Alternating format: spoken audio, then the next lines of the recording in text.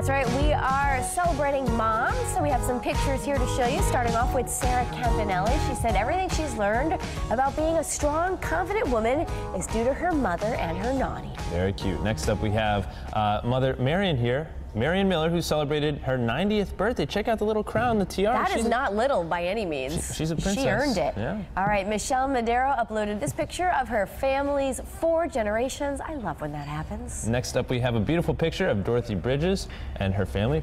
Nice, uh, nice big family there. Absolutely. All right, we have Faith Tremblay and her mama at Hubbard Park, surrounded by daffodils. Daffodils. What a pretty springtime shot. And last but certainly not least, we have Mother Lillian, who is dressed to impress her. Check her out, huh? Nice Beautiful. hat, Lillian. We like it. Thank you so much for sharing your family moments with us. Go to the CT Style page on WTNH.com to upload your pictures, and you might just be featured here on the show.